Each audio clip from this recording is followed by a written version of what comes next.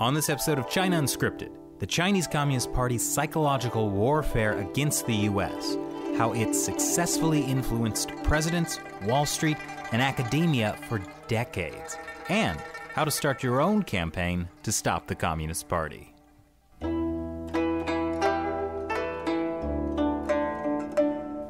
Welcome to China Unscripted. I'm Chris Chappell. I'm Shelley Zhang. And I'm Matt Gnaizda. And this episode of China Unscripted is sponsored by Surfshark. Surfshark is a VPN that can protect your privacy while you're using your computer, Android, or iPhone. Like, for example, let's say you log into public Wi Fi in Times Square. I don't, I don't know why you'd go there, but uh, you want to check your email or your banking info. People can track that, if hackers can look into that. So that's why you got to use a VPN. And for a limited time, you can get 83% off a two year plan and an additional month free. Go to surfshark.deals slash unscripted. Support the show. Joining us today is Grant Newsham, a senior research fellow at the Japan Forum for Strategic Studies in Tokyo. He was also a U.S. diplomat, business executive, and U.S. Marine Corps officer. Thanks for joining us. No, glad to be here. Thanks. So, China influences the U.S. media, government, the entertainment industry, business, and, and I think we should tackle those one by one. But first, what's the big picture? I, have heard some people just flat out say the Chinese Communist Party is at war with the United States. Would, would you say that's accurate? Well, the Chinese Communist Party actually thinks so. They use words pretty much to that effect. Uh, you don't have to. Uh, listen or uh, to the Chinese media or read or uh, read the Chinese media without getting some blood curdling reference uh, to killing 10,000 Americans in an afternoon to teach us a lesson uh, and that sort of thing. So I think that's a fair uh, statement. Uh, I don't think the United States has has admit has accepted that yet, except sort of in the last year or two. What would that lesson be? To bow down in the to the splendor of the, the Chinese Communist Party and the in, inevitable uh, domination of the, the Chinese system as the Chinese China rejuvenates itself. It kind of reminds me of you know beatings will continue until morale improves. Oh, it kind of seems that way, uh, but it really is striking actually when you know for the even during the the so-called golden era of U.S.-China relations um, they back some would some would argue in the the 2000s or even into the 90s that when U.S. businesses were falling over themselves to get into China, uh, when you would still listen to what the Chinese were saying. As I say, if you just followed the media, even the, the English language uh, media, uh, it was all, it was not exactly nice. Uh, so you know, this is um, surprising that it took us so long to to figure that out. And even then, there's plenty of people uh, who refuse to believe it on our side. But should we really be listening to what they say? I mean, I, isn't it kind of exaggerated? Oh, well, that's what you hear. It, and there's a, a, I think, an element of condescension in that. You know, it reminds me of my mother, uh, who used to talk about the way that um, uh, Asians, you know, she didn't use the word Asians, but um, uh, how they just they talk, they jabber, you know, don't take them seriously, you know, because they're, you know, they'll never be be our equals. They're, they're just so weird. I say that about uh, Shelley all the time. Thanks, um, Chris. I've heard that, but they, um, uh, but that that's they say it's a condescending sort of uh, take on the Chinese that. Um, oh, don't take them seriously. They're just children. They don't really mean it. Well, maybe they do. You know, and certainly while uh, we were humoring them, uh, they've gone ahead and they've built up a military, which is the certainly the fastest military buildup in the, since World War II, and it's a, a navy and an air force that could actually, in certain circumstances, take us on, and probably do more than give us a run for our money. Well, so you said the whole point of this lesson is to is to make people in the U.S. bow down to China, but it sounds like already a lot of businesses, uh, politicians have already bowed down. that, that, that's true. There's been um, probably about 30 years of U.S. industry and U.S. businesses, as I'd said, falling over themselves to get into China. Uh, was um, seen as a place that you know was um, a gold mine. If you could sell one of something to every Chinese person, uh, you'd get fabulously wealthy. Of course, the, the British were saying that in the 1800s as well. Uh, never quite worked out. But if you look at the, the, the flood of U.S. businesses, the, the, the top businesses, uh, the Boeings, the, the Apple, Pratt and Whitney, Microsoft, uh, even Motorola that I used to work for was the, the first big one to, to go in right after Tiananmen Square massacre. Um, and they went in and committed suicide. Um, but they've all gone in uh, expecting to get rich, and it's never quite paid off. And then, then you have Wall Street and the financial companies, uh, which have even been uh, sort of more aggressive uh, in trying to get into into China. Uh, and they've you know, it reminds you a little bit of a sea lion at, at a sea park who smells a bit of mackerel and will pretty much do anything to get to it. Uh, so if you, you go down the list, it's very hard to find a, a prominent American company that, that has not gone into the, the China market. Well, I know I would do pretty much anything for mackerel, but I know you've called what China's doing to the U.S. a, a psychological operation or psychological warfare. Uh, for our audience who might not be familiar with these terms, what, what does that mean? Well, you hear the word a lot, and you often referred to as psyops, and it sounds like something cool and esoteric, but it really just means manipulating something, uh, somebody, so they think the way you want them to think and ultimately act the way you want them to act. Uh, most people don't, uh, you know, they're not automatons, so they they, whatever they do physically is the result of thinking. And if you can shape the way people think, uh, then you can get them to act in the way that you want them to to behave, and that's what is where ultimately psychological operations is. Um, one, uh, you you take advantage of the the vulnerabilities uh, that people have and the things that motivate them, uh, and you uh, carefully target those, and you can have a quite desirable result if you want. And I, I think when one steps back and looks at what the Chinese have accomplished uh, against um, really the, the U.S. in the last 40 years, it's really been quite impressive. Well, so it's like that TV show The Mentalist, but on a large scale. Uh, kind of. You know, it, it's um, it's really nothing new. You know, it's not something that uh, you know that you know, a sophisticated Western man figured out in the last 50 years, but rather it's been around, I would suspect, probably since caveman days. Uh, you, you, read sort of Bible stories about uh, Nehemiah rebuilding the walls of Jerusalem. And that was, um, uh, you had his enemies using psychological operations unsuccessfully. The Mongols were masters of it. Uh, so, as I said, it's really nothing new.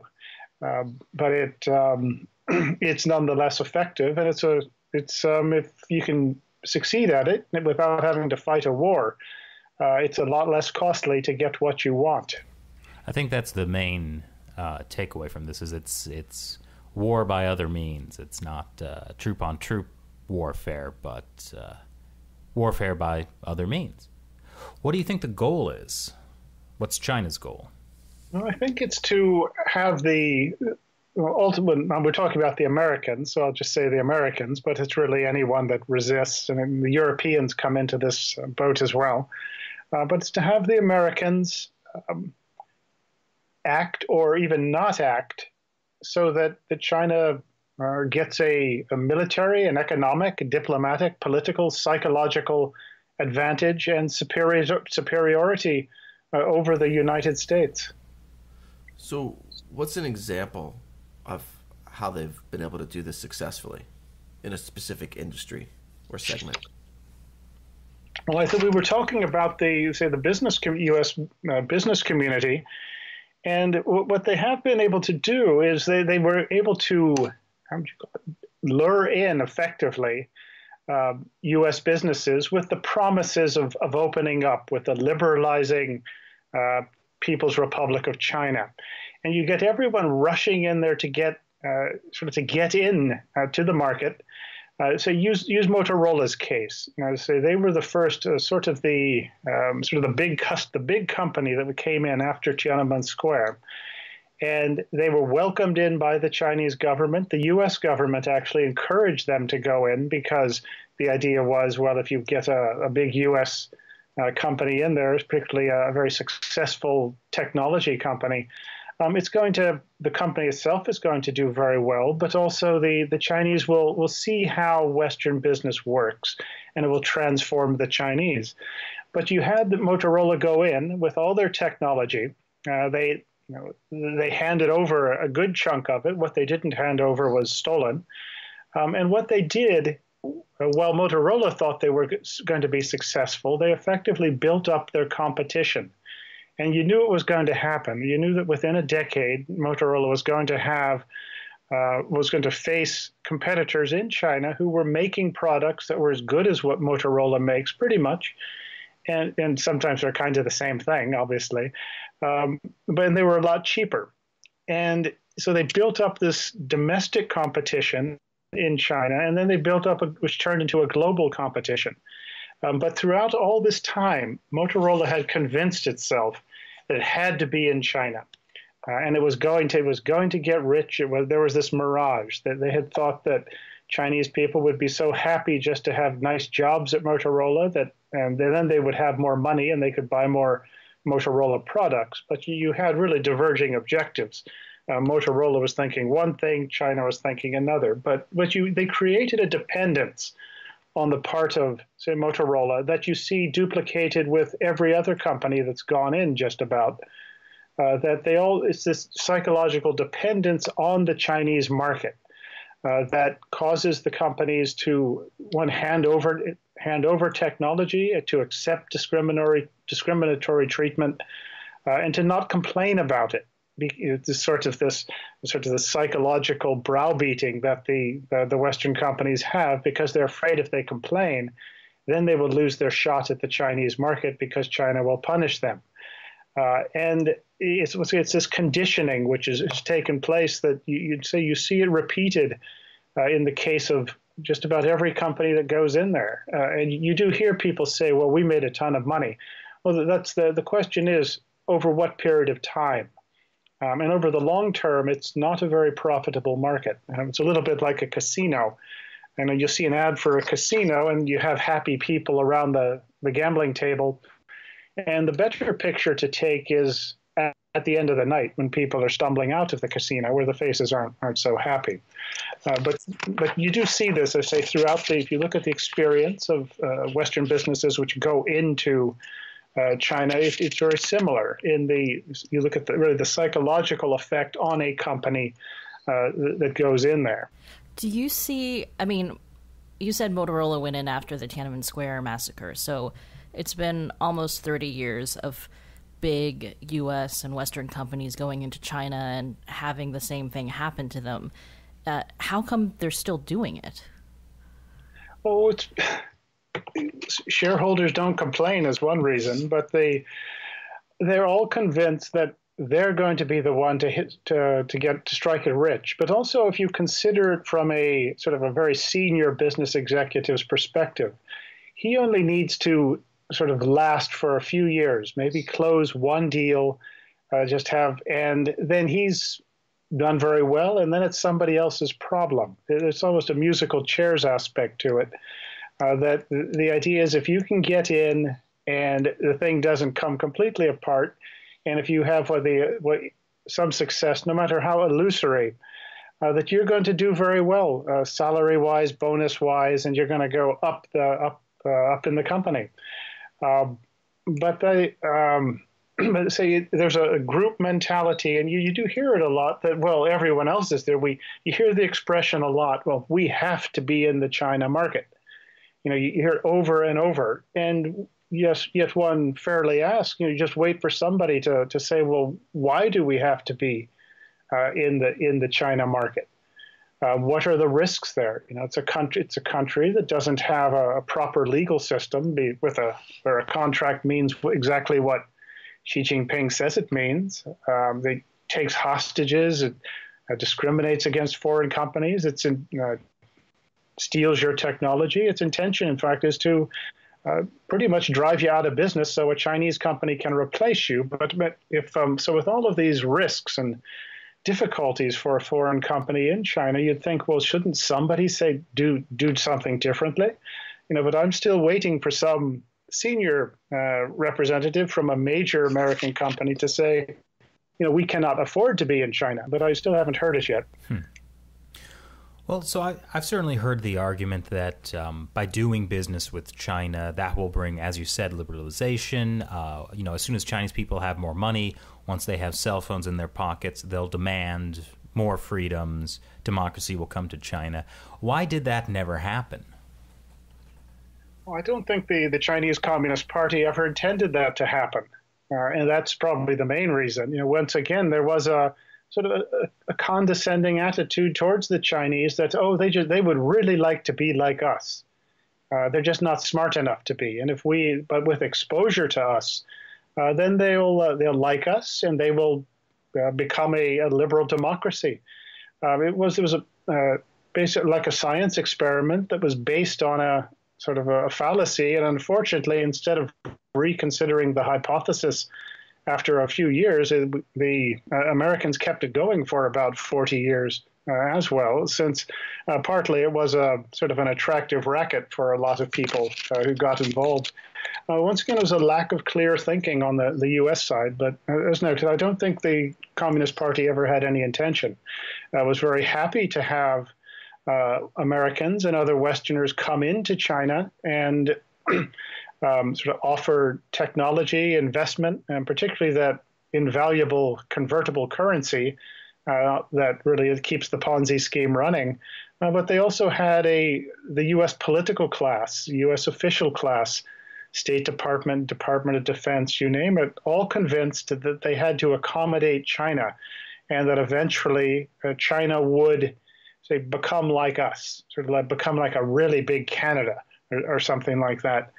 Uh, but the the and the Chinese were glad to have people think that. You know, every so everything that uh, China did that was um, uh, sort of expansionist or aggressive are not what we would want them to do. The the Americans, the, the business community, the government, and even the U.S. military uh, would back off because they, our thinking was, and the Chinese were glad to encourage it, uh, that we just had to give them some more time, just had to uh, let them see how uh, how the world works, how the rules based order works, and, and then they'll say, uh, get into our image. Uh, you, as I mentioned, the military used to see that thinking a lot uh, that uh, this idea of, well, if we just engage with China, if we show them how we are, that they'll understand how, how they should behave. Used to hear it a lot. It was reflected in the invitations of the Chinese military uh, to the RIMPAC exercise in Hawaii, for example. Uh, all the while, all the while uh, the Chinese were breathing threatenings and slaughter against us and our friends in the region. So, where did the idea, of that engagement idea, come from? Is it something that the U.S. or like other Western governments came up with, or think tanks, or was it from the Chinese Communist Party? You know, that's a good idea. That's a good question. I don't know. You know, I don't know where it emerged from. I um, imagine there's probably not too many people these days who uh, want to take credit for it, but but I really don't know uh, when it appeared. Um, i it's sort of like the um, this virus now in China. They people would like to know where it came from, but nobody quite knows. I, I wonder if it stems from you know there were people essentially arguing the same thing with the Soviet Union uh, if it's just if it if it didn't begin with China, it just began with this whole dealing with the communist Soviet bloc. Well, there is a there's um I think you've got a good point there. There was the you know, against the Soviet Union. There was an idea, well, that the uh, the Russians only act the way they do because they're afraid of us, and if we uh, show them that they have nothing to be afraid of, then they will behave the way we want them to behave. And that it sounds a little bit um, like the, you know, the, the quote by I think Professor Joseph Nye that if you want China to be an enemy, treat them like an enemy. And which the follow on on that is okay, then accommodate them in everything they do uh, and never challenge them. Uh, but that's that wasn't all that long ago, maybe 25 years ago. Uh, but I think you're right that it does uh, reflect an idea that goes back a long time. Uh, once again, in our thinking that, you know, if people really do want to be nice, uh, and if they're not nice, then we must be doing something wrong. And if you're the opponent, well, you'd love to have a have, uh, say, the Americans in this case thinking that, and all you have to do is keep them thinking that. you know, with the the, the, the promise or the, the illusory promise that, that you're yeah, you're going to open up, know, which you hear all the time, uh, really from the 80s. So that it seems like every quarter, uh, the Chinese Communist Party or some leader announces that China is going to open up. Well, they've been opening up for about uh, 30 plus years now, and it doesn't seem like uh, you think they'd have been opened up pretty well by now, uh, but it doesn't seem to have happened. You mentioned earlier that there are ways that the Chinese Communist Party kind of encourages this type of thinking. Can you talk about that?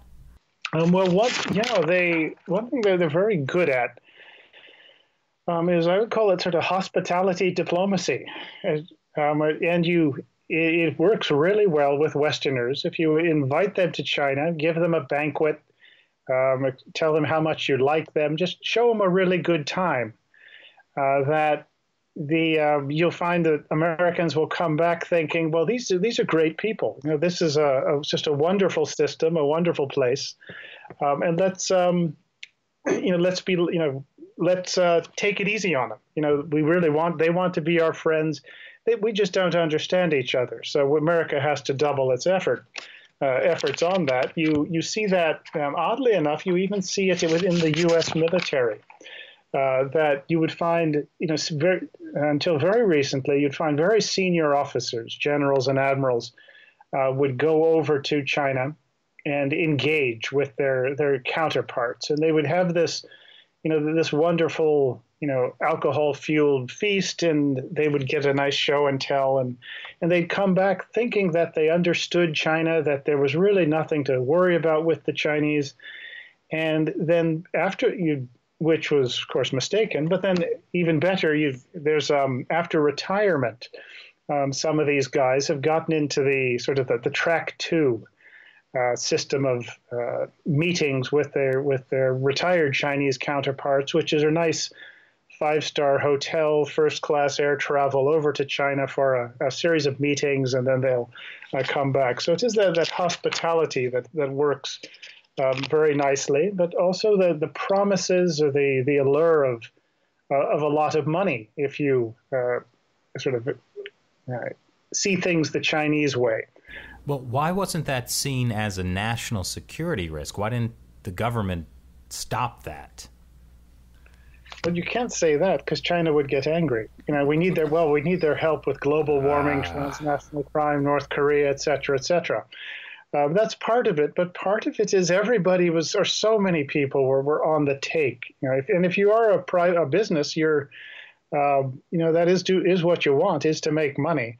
Um, but it, you know, I don't want to. It's, um, you know, I don't want to accuse. You know, certainly serving government officials, the the money wasn't really an angle. There was more, sort of a vanity that they were able going to be the uniquely sort of understanding of China and could shape U.S. U.S. policy for the best interests of the United States, even if the benighted everybody else couldn't understand the nuance uh, of their, their approach. But certainly in the business community, the uh, even some of the sort of the, the China hand uh, community, that the people do very well actually with um, uh, financially if um, uh, dealing with with China. So there's a money angle, vanity, uh, um, naivete, just um, hubris. Ultimately, you know, a sense that uh, well, we're better than these people, and we, you know, you know, we'll be glad to take some money from them. And you can, when money's involved. You know, I worked uh, with a Wall Street firm for a long time. When money's involved, people can convince themselves of just about anything. Uh, and if there's a lot of money involved, they can convince themselves even even easier. So it really is some really age old uh, sort of aspects of human nature that the ancient Greeks knew very well, uh, that that are on display, and that the, the uh, Chinese communists have, you know, to their credit, you know, have been taken advantage of. Uh, you know, in our case, and as noted, it's been on a very wide front. There's nobody really who escapes uh, sort of blame for this. And you know, I mentioned the U.S. military. I've had the academic class, the political class, government officials, uh, American industry, Wall Street, and I don't know who I've left out there, but you can find cases from all of those. Oh, Hollywood, of course, Hollywood. Oh, they they um, Yes, indeed. You know, you look at um, Tom Cruise's jacket or flight jacket in the the latest Top Gun. It's missing the Taiwan flag.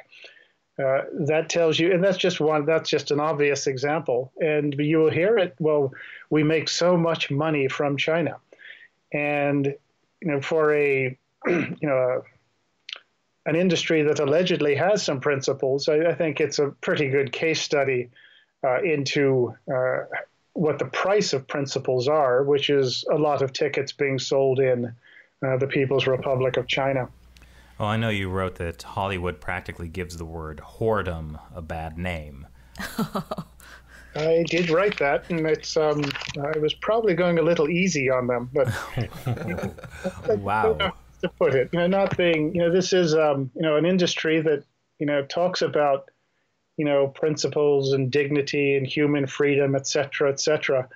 Um, well, they ought to go hold the Academy Awards out in uh, East Turkestan, out in western, uh, the western part of that of China, where they have concentration camps. Apparently, the word means something different uh, these days, but uh, than it did in the 1930s or the 1940s when people said "never again," uh, which is it, it. Once again, if you track it back to the thinking involved here, um, that for whatever reasons, you know, money, uh, once again, vanity, naivete, that you have uh, Americans who should know better, who have convinced themselves that China is different. Um, you know, if a similar, you recall South Africa, that the, the self righteousness that was, you know, the, or the, the, that's one way of looking at it, but it looks like self righteousness now, but just how worked up, you know, Hollywood and many other uh, parts of U.S. society were about what was going on in apartheid South Africa.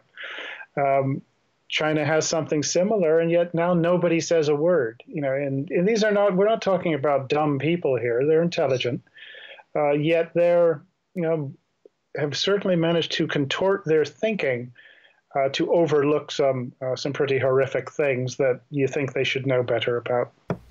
Well, how do you think the U.S. media has done at raising awareness about Chinese Communist Party influence in the United States? Um, I think China Uncensored's done pretty well, but the, Why, the thank you. Okay, well, I couldn't resist, but the um, uh, I'm glad you didn't. Well, yes, but in general, not very well. Uh, you know, the you, you look at particularly if you look at it over, say, a 30-year period. Uh, then you'd really have to say not very well at all. You know, there have been, of course, excellent, uh, sort of a lot of good reporters, you know, around, like John Pomfret of uh, used to well Washington Post, um, James Mann. There there have been good individual reporters who've done some excellent reporting, but at the the the, the editorial level or the uh, the corporate level, uh, there hasn't been uh, really a, a, willingness uh, on the the part of too too much media to actually call China China out for what it's been doing either in China or in the United States and um, you will these days, say within the last couple years, you will read some sternly worded editorials in, uh, say, the Washington Post, New York Times, uh, etc. Um, but at the same time, they're taking uh, sort of paid. Uh, they're taking money from the Chinese Communist Party uh, to uh, kind of deliver or to insert the China Daily, sort of a China propaganda piece into their pay, into their papers. Um, and which is it, it's um, hard to understand the logic there. Um, but it, once again, if there's money to be had, it does tell you something. But in general, the media has not done a very good job of this. You know, I'd point out, you know, for, exa- and for example, you had Senator Dianne Feinstein of California, uh, who, you know, once said that, well, you know, past life she must have been Chinese. Um, and you know, she's been very accommodating to the PRC over a number of years. Uh, her husband's made a ton of money uh, doing business there, and she you know, had effectively a, a, Chinese spy on her payroll for a long while in a very responsible position. And this sort of thing, how much attention did it get? It, you know, any good reporter could have tracked this down and put two and two together a long time ago. Uh, it sort of broke a few years ago, or fairly recently, but it had a very short shelf life. And then it was just back to business as usual. Um, but you are seeing more reporting about sort of Chinese influence operations, but it really isn't a sort of uh, sort of a priority. It seems. Um, you know, is my is sort of how it struck me over the years. I say there's been some some uh, periodic uh, attention paid to it, and you, as I said, you do have some excellent reporters who've been written on China over the years, but uh, the, media itself has gotten into the well, you can't complain about China. Um, you, know, you know, otherwise, you know, um, you know, we'll lose money, or even our our reporters will have more trouble uh, in doing um, doing their jobs in China. Uh, and one classic example of since we're on the media is it was about 2013 uh, when Bloomberg um, actually like one of those a couple of their reporters did an excellent report on the overseas wealth of China's leaders, including um, Xi Jinping. And I think the New York Times was in on it as well, but Bloomberg is the one that, that uh, immediately comes to mind.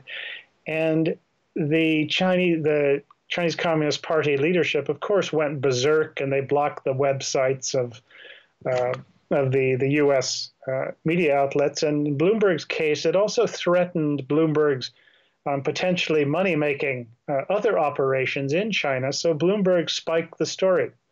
Uh, but it was a very well done story, very well researched, and and um, it was, was correct uh, by all accounts. Uh, and the done by some diligent reporters, and there were some good local editors who supported it. But at the corporate, at a certain level, the uh, the, the kibosh was put on it.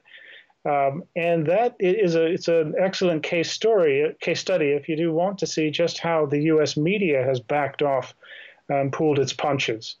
Um, and it, once again, it's not an impressive story uh, to my way of thinking. And now Bloomberg's running for president of the United States. You did. There is a um, that does get one's attention, uh, to say the say the least. But put yourself in China's position, in the Chinese Communist Party's position, and well, things are looking pretty. You know, if somehow he does have, you know, say he should win, or but even if he doesn't, you know, this is Michael Bloomberg, who is a, a, a prominent American with a lot of influence, a lot of money, uh, and you know he has shown himself willing to back off if the, the Chinese threaten the, the money flow. Uh, he was, um, what I think, just um, in December, I think it was, was back in uh, Beijing with his New Economy Forum or such like, where these uh, big hitters from the U.S. get together with the the Chinese top dogs and you know, really um, have meetings and talk about what they're going to do. Uh, and this is, you know, if you think about it from a political warfare standpoint, uh, this really doesn't look very good. Uh, I think uh, Hank Paulson, the former head of uh, Goldman Sachs, was there uh, as well. And former U.S. Secretary Tre- Secretary of Treasury. So you have the once again, if you look at it from a psychological operations perspective, that the Chinese have done very well in getting some Americans who should know better to think that they they really America really does need to accommodate China to meet them halfway. Um, and one wonders what on earth was being said in the 1930s. probably something similar. Geez, how how deep does Chinese communist influence go in the United States? Um, pretty deep. You know, if you've, you know, I've mentioned academia, which has gotten itself hooked on full uh, sort of um, Chinese students paying full tuition. Uh, you have, uh, once again, U.S. government officials. You know, you've uh, this one just uh, jaw-dropping example. You had a, a woman who was the the, until recent uh, a year or two ago was the uh, really the senior Asia Pacific official at the U.S. State Department. Uh, she retired after she didn't get the uh, the top the the top job, the permanent position as the head of Asia Pacific, owing to uh, some congressmen, people in Congress thought she was too soft on China.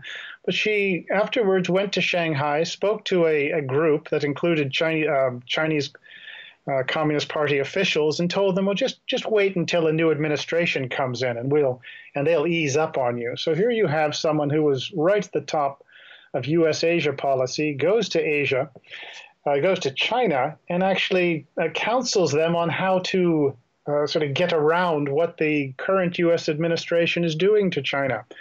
Uh, that should tell you something when you have National Basketball Association officials and players prostrating themselves uh, when the one of the official executives at the Houston Rockets uh, puts in a good word for the the people in uh, concentration camps or such like.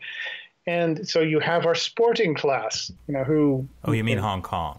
Oh, oh, that's yeah, that, that's right. Uh, that, uh, my mistake. I was uh, mistaking my uh, oppression, but it, yeah, it was um, human. It was Hong Kong, and well, in short order, uh, you had players and executives going on our side going after them. The self censorship, um, sort of the the re. Um, in, there's obviously a financial angle to that. Now I said you've got you had a, a commander of the U.S. Pacific Command uh, one or two back, who declared that his biggest concern was not the People's Republic of China or the uh, People's Liberation Army and its navy that was in a what was even at that point was pretty scary, but rather was climate change. Um, you had in the Pacific Command, in fact, you could not even say that China was an adversary.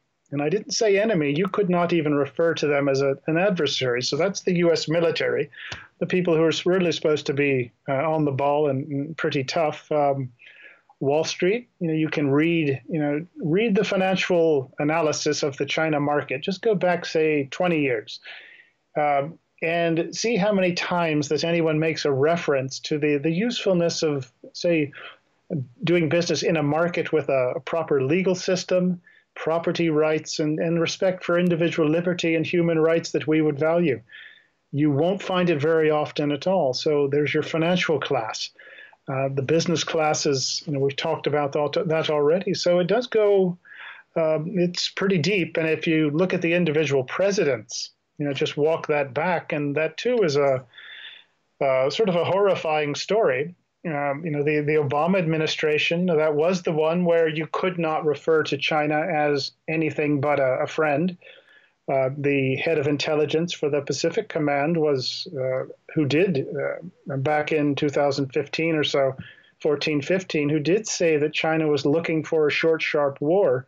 I'm told the, the White House absolutely despised him, and uh, when they asked for his head, uh, the U.S. senior officers in in Hawaii were willing to give it. Uh, before, so the, that was the Obama administration. The Bush administration before that didn't have the really the stomach for dealing, taking on China. It had too many problems that, of its own making in in Iraq and Afghanistan.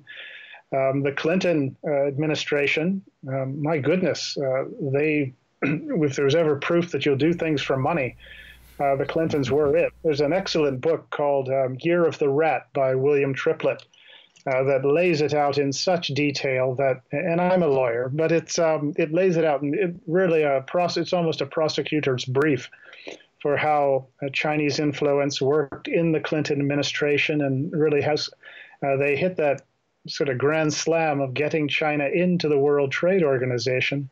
Uh, George H.W. Bush, uh, before that, he had spent 15, 15 months in China, so he knew these people. Uh, he too, he excused uh, the, the Tiananmen, Tiananmen Square massacre. Uh, even sent them a the Chinese leadership a fawning letter, which, if you read it, it it's really it really gives a whole new meaning to the word fawning. Um, you know, telling them that you know no problem, we can get over this, and uh, you know we love you guys. Um, so if you go, but this is, and it's hard to get much higher in the U.S. than the presidency, and that's it's. Um, they've all even going back to, to Ronald Reagan, uh, they've had their, their shortcomings and uh, when it comes to dealing with China. And once again, it's the, you know, this is it's the thinking that if you that's important. Um, and they've all managed to convince themselves, for whatever reason, uh, that you know an accommodationist approach to China uh, is the the right one. And it was, I think, clear a long time ago uh, that we really needed to try something different. Would you say that the psychological warfare that the Ch- Chinese Communist Party has been able to do kind of starts at that individual level that you were talking about and then turns into groupthink, or are they doing it at like multiple levels at the same time? Oh, it's like getting um, it's like walking out into a snowstorm or a rainstorm. You're just you're getting hit from every direction. Uh, you really have to admire the scale of it, the just the, the multi-directional approach uh, and really down to very low levels as well. You know, when they're um, trying to sort of um, uh, sort of win over farmers in the American Midwest, you know, that's one thing. When you're um, trying to get a, a, former U.S. Secretary of Treasury on your side, which is really easy, uh, that's very different. And then academia, when you're host, then when you're hosting U.S. military officers. Um, it really is something that you know is so sort of widespread, or um, um, as I said, multi-directional. Uh, that and it takes different forms. You know, it can be um, hospitality. It can be inviting people to their uh, scholars to China. You know, with uh, once again a, a nice, uh, sort of handsome uh, hotel and a business class ticket, etc. Uh, there's funding for U.S. think tanks. Um, really, if you go down the list, it's um, you know really is a you know just is probably I would say the most effective psychological uh, operation uh, campaign maybe in history. Uh, say when you you look at the the scope of it, and it's not just the United States you know, where you see it at all levels of society, all levels of business and academia, etc. But other countries as well. You know, you go to like the third world or um, say Ethiopia, Angola, uh, etc., just South America. There's Chinese everywhere. And you do, it's important, it's useful, I found, to, to look at Chinese investment overseas, uh, not just for the, the economic angle, but really for the, consider the, the psychological aspect to it, where it, it creates a dependency and it tends to split whatever society it gets into where it creates a constituency, creates a class that suddenly has a an interest in in um, doing what China wants. That's it's often a financial interest, but that will then manifest itself in the political behavior uh, of the, the country, and it will do things that we would rather not have them do. Well, this sounds like an absolute nightmare. But what, what I notice is everything the Communist Party is doing is, I guess, technically not illegal. So, how do you combat this? Because I don't think people want necessarily another McCarthyism. But how do you combat this when they're essentially using the free and open society of the United States to destroy the free and open society of the United States? Well, a good bit of it, I think, would uh, a good approach. One is to do your own political warfare, you know, which we the U.S. hasn't done it very well since the Cold War, but a lot of this with exposure. Um, it, it is, uh, you know, that tends to have a, a bracing effect. Um, you know, and particularly when you have um, in, for politicians who are uh, been pretty easy on China when you realize that they do have some sort of financial angle to it. So exposure uh, is one thing, um, and that can can get you can get you a ways, but you also do need to um, you, there's other things you can do. You know, one example would be uh, gotten some attention, some good press attention, is the so-called Confucius Confucius Institutes uh, that were at a lot of U.S. universities, which uh, were allegedly Chinese language was being taught, but the uh, the Chinese Communist Party had the final say over what was taught and what topics were not discussed, et cetera, et cetera. So essentially, propaganda uh, mills at U.S. universities that um, the Chinese were also paying for. Um, but what the Amer- the U.S. government did is um, say, well, if you're going to have a Confucius Institute, then you cannot, um, uh, you're not going to get U.S. government funding or something along those lines. So that's one approach to it. Um, additionally, as I said, the exposure aspect, if we would actually enforce the Foreign Agents Registration Act, um, so that re- require people to uh, put themselves down as really Chinese propagandists. Uh, that would probably put a lot upset a lot of people in Washington D.C. But that's one approach to it. Uh, the another would be you, this is um, once again if you look at the psychological effect of Chinese money uh, that it's had in uh, in on Wall Street and buying up U.S. companies or listing um, U.S. companies, uh, excuse me, listing Chinese companies on the U.S. exchanges.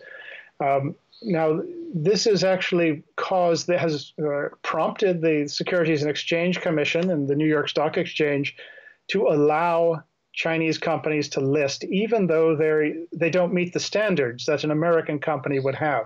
Uh, China says, well, if the if we gave you the accurate information, that's a national secret. Uh, we can't do that. So what the U.S. could do is you could say, well, you're welcome to, to operate it to come here and enjoy our markets, but you're going to have to act just like an American company. Um, you think, well, don't we do that? Well, the short answer is no, we don't. Um, so Jeez. that's you, know, you, could enforce our laws uh, would be one start, and even just uh, reciprocal treatment. Um, that would would undercut a lot of the um, sort of the the the, the sort of the economic damage, the uh, sort of the economic end of the Chinese political warfare. Um, you can um, tighten the uh, requirements uh, for particularly national security reasons on Chinese investments into the United States. Um, that has been done a little bit uh, with this administration. In fact, this administration has done more than most all the others put together uh, as well. Um, the U.S. could, you know, um, say say no more engagement or no, beyond the absolute necessary between the U.S. military and China. That's, in fact, in one of the, the most important things that you can do. It does require an admission that China, the Chinese China run by the Chinese Communist Party, is at least an adversary. And if you listen to the Chinese, it's an enemy that is hell bent on driving us uh, out of Asia for starters and to make life as miserable as possible for our friends in the region as well. And it really, when a, a country or a people uh, actually do sort of wake themselves up like a like a drunk guy coming out of his slumber and say, you know, no, this is we're not going to do this. We're not going to put up with this. We're going to bite back. That alone tends to have a bracing effect throughout the entire system. And that effectively is what the, the Trump administration has done to its to its great credit. It is um, it's really done nothing more than say I'm going to to fight back. Uh, if you, it's a lesson that a lot of people learned in the schoolyard uh, that if you look like you're going to defend yourself, you're not going to have as many problems uh, as as otherwise. Uh, so that there is that sort of so-called sea change in the sort of U.S. behavior that or the approach to China that uh, say it has a, a positive effect throughout uh, so throughout everything we do.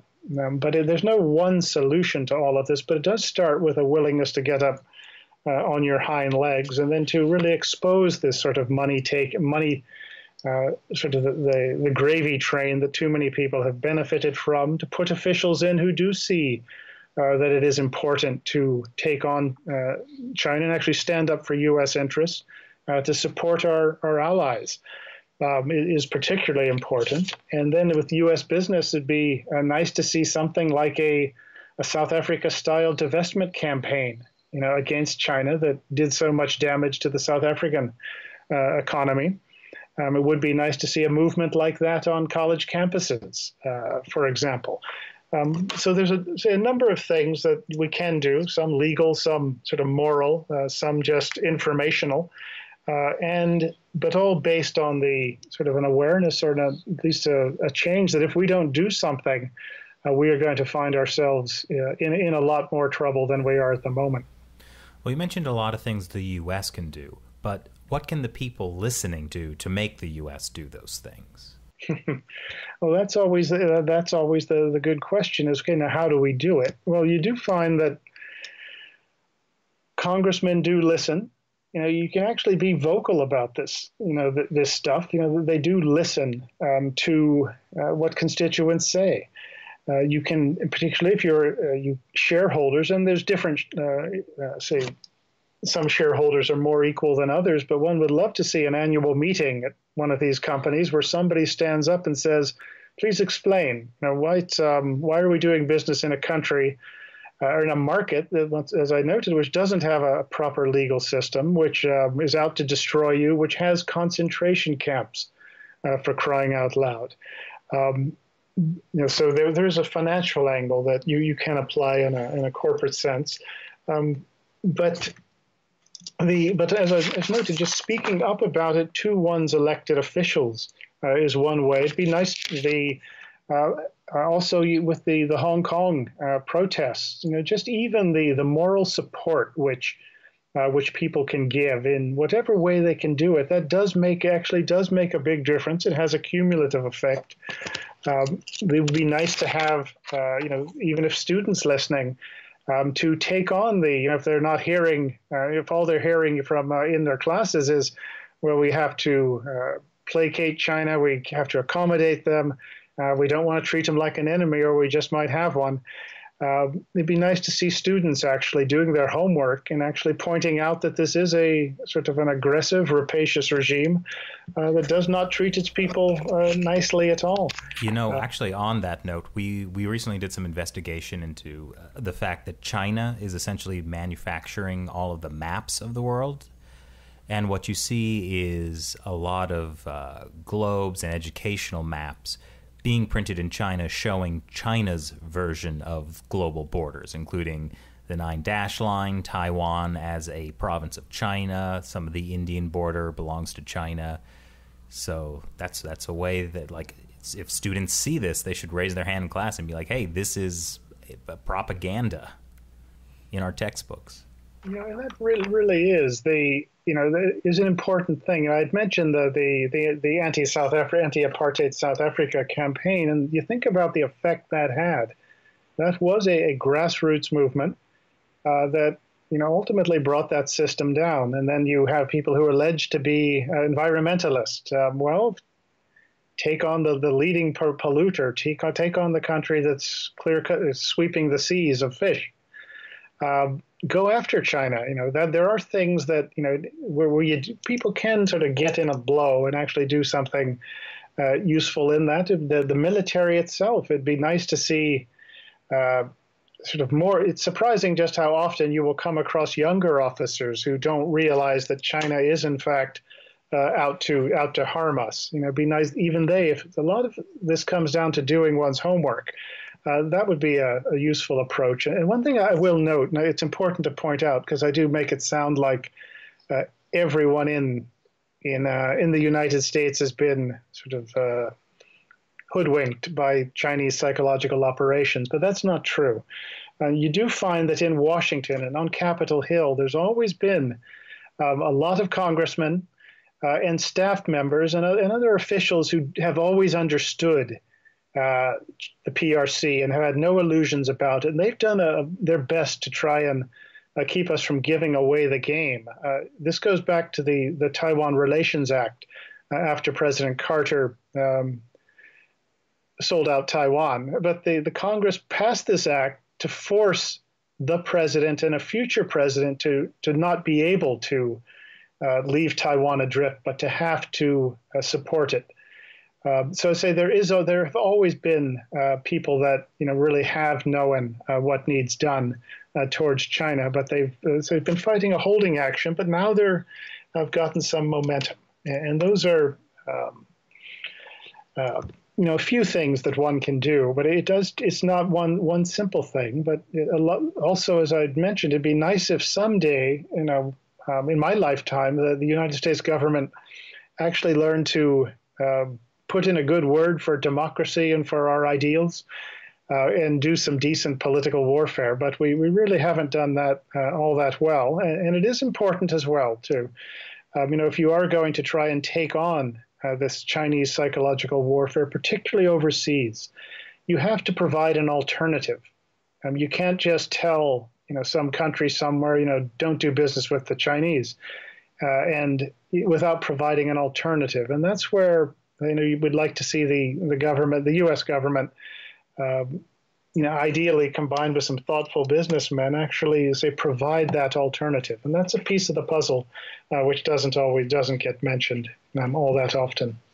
Well, great. That's a lot of good information that doesn't make me feel very happy about the world, which I feel is how most of these podcasts go. I was actually thinking of how much people can do because right like if you if you have students at schools who are raising issues about academics uh, going to china for conferences or the influence of the, the chinese consulate on chinese student groups that's something students can do mm-hmm. environmentalists can raise you know issues of chinese pollution of uh, chinese overfishing in developing countries um, you know It- Get Greta Thunberg to talk about yeah, it's- China. It's, even a social justice issue in the sense that the people who have been hurt and marginalized most by China's like fishing operations are like the locals uh, and the native people in all these countries, whether it's uh, Kiribati or Mauritania. Uh, so there's all these different interest groups in the United States who could who have totally different perspectives on things, but who could come together and start to raise awareness about these problems. Wow, I that actually made me feel much better. Well, you know, the game's not over. You know, it may be the bottom of the seventh, and we're down by four or five. But um, it, I say it's not over yet. Uh, also, one thing you can do is, if you really want to go see China, go to Taiwan. Uh, if you want to see the, uh, you know, that is, and I say I'm not really joking. It's um, you know, the more support that is given to Taiwan, and even just going to see the place.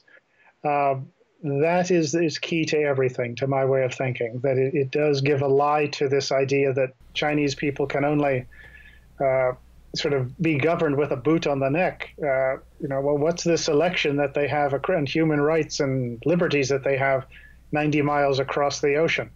Uh, but so if you want to learn learn Chinese, well, go learn it in in Taiwan. Uh, that would be, as I say, one one thing that's one avenue of approach that, that is worth uh, pursuing. Well, it's great. Thank you so much for joining us today, Grant. If if somebody listening wants to know more about you or read some more of your writings, where can they go? Uh, I write a lot for, um, well, they can Google me and that'll produce a, a, lot of things, but I write a lot for Asia Times, and, and I also write for a sort of a, a newish uh, outlet uh, called And Magazine, A&D Magazine, uh, the national interest, um, but I, I'm here and there, anywhere I can get somebody to to listen to me. Um, but say if you Google me, that'll be a good start. But, but Asia Times is what I'm usually uh, associated with. Well, great. Thanks again for joining us. I hope people listening are inspired to take action. Always fun to hear about how the United States is losing a war it didn't know it was in. I kind of felt like instead of psychological warfare, we should just call it money warfare. It's like everything comes down to the fact that people are incentivized to make money or, be given money, or yeah, it's depressing. I think the funny thing is that, you know, Grant Newsham was saying, "Oh well, the U.S." You know, people are condescending towards China, thinking we can make China reform. Meanwhile, the Chinese officials are condescending towards America, thinking that they can influence us. One of those things was correct. Yeah. So And it I don't wasn't know. us. Yeah. I don't know how to feel about that. Yeah, Yeah, the no, idea that the Chinese the Chinese are so simplistic, and yet it's like Americans being bought off with like a big dinner. Well, I mean, Americans are equally intelligent, but I think that the Chinese Communist Party has figured out how to take advantage of our greed, and they've really used that and twisted it. So, yeah, I mean, money warfare is essentially uh, a great summation of this. That's so sad. I don't know. And and actually, the other side of that is like with like our shows, like we it's so difficult for us to make any money. So it also disincentivizes people to go against the system because there's no money in it. Yeah, but fortunately, like for example, I got sponsorship to go to uh, an academic conference in China, and I'm flying business class. Uh, so you know, I think that's going to turn out great. So Sure. mad is the turncoat. Shelley Matt's been bought off. We gotta let's put him out of his misery. I, I think also the Chinese Communist Party has been managed to target the one person on our team that would destroy our show if he was not a part of it. What are What you you talking mean? about? I'm, I'm arguably the least important of the three of us. Oh, because Chris and I both picked you when if we were stranded on a, a desert island. Yeah, but if they bought me off as the the face of the show, that would be That would be that would be that'd arguably bad. much worse. I mean, like, sure, I set up the podcast equipment, but I think Uh, I losing don't know. losing Chris. I feel like we could we could go on. Chris is the face of the show, and you're the humor ninja, also accuracy ninja. So I don't think we could we could do it without both. We of you. are a triumvirate. We are more than the sums of the parts. So we're you're saying we're three emperors ruling Rome together? Is that Yes. okay? Yes. Shouldn't we fight a lot more then? Don't we? Oh, uh, I've just been subtly undermining both of you for years, and you just haven't realized it. No, no, no. We've been undermining you, haven't we, Chris? Eh, I'm I'm sort of a get along with people kind of guy. I don't know. I think you two are the psychos. All right. well, thanks for listening. Again, this episode of China Unscripted is sponsored by Surfshark. When you go online, everything you do is being tracked and logged uh, by the websites you visit and by your internet service provider, and in many cases, the government. And if you're in a country that tries to control everything you say and do, you should definitely be using Surfshark to protect your identity. It allows you to go around the government's firewall to access the free and open internet. VPNs like Surfshark are how listeners in China are able to access this show. Surfshark also has a clean web mode, which protects you from ads, trackers, and malware. Plus, you can connect as many devices as you want. Try it out with a 30 day money back guarantee. We have a special URL for our China Unscripted listeners. Go to surfshark.deals slash unscripted. For a limited time, with that URL, you can get 83% off a two year plan and an additional month free. This offer makes your subscription just $1.91 per month. And again, that covers as many devices as you want. So, check out Surfshark. Thanks again for listening. Once again, I'm Chris Chappell. I'm Shelley Zhang. And I'm Matt Gnaizda. Talk to you next time.